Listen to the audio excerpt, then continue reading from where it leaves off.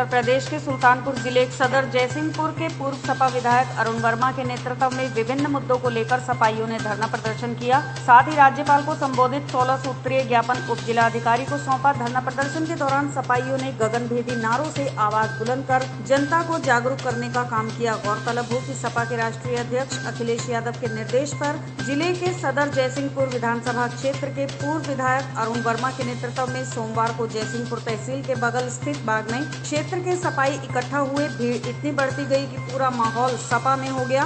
काफिले के साथ पूर्व जिला अध्यक्ष राम सहाय यादव, पूर्व विधायक अरुण वर्मा विधानसभा अध्यक्ष कौशिला यादव, जिला महिला अध्यक्ष शारदा यादव, जिला सचिव गौतम वर्मा, भानुमति बेगम ओम प्रकाश सिंह, विधानसभा प्रभारी उपाध्यक्ष राम मूरत निषाद आदि नेताओं के साथ कार्यकर्ताओं का हुजूम। बाग के तहसील की ओर रवाना हुआ। लाल टोपी लगाए और झंडा बैनर तख्ती लेकर जब सपाई सड़क पर निकले तो पूरा माहौल सपा में हो गया। तहसील परिसर में पहुंचकर विधायक अरुण वर्मा के नेतृत्व में सपाइयों ने धरने पर बैठ गए। इस दौरान विधायक पूर्व विधायक अरुण वर्मा ने कहा कि सरकार किसान विरोधी है छात्र विरोधी है नौजवान विरोधी है महँगाई कानून व्यवस्था सब फेल हो चुकी है। आदि मुद्दों पर राज्यपाल को संबोधित ज्ञापन उप जिला अधिकारी को सौंपा। किन मुद्दों को लेकर के यहाँ पर आप लोगों के द्वारा प्रदर्शन किया गया? क्या प्रमुख मांगे हैं और सरकार विरोधी देख रहे हैं नारे भी लग रहे हैं? क्या है प्रमुख? देखिए आज हम लोग समाजवादी पार्टी के राष्ट्रीय अध्यक्ष आदरणीय अखिलेश यादव जी के निर्देश पे आज पूरे प्रदेश में तहसील स्तर पर धरना प्रदर्शन के माध्यम से ज्ञापन हम लोगों को देना था।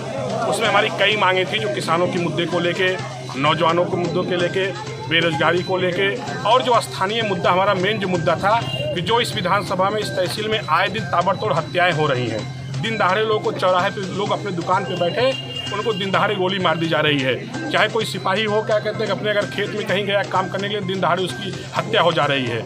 इस सब घटनाओं को, क्योंकि प्रदेश में कानून के नाम पर कोई चीज़ नहीं है। आज हम लोग स्थानीय मुद्दे को लेके, चाहे ये कानून व्यवस्था को लेके हो, चाहे जो अपने जयसिंहपुर विधानसभा क्षेत्र में जो सौ बेड का हॉस्पिटल हो, जो राजकीय आईटीआई कॉलेज, जिसका निजीकरण सरकार ने करने जा रही, जो कर दिया है।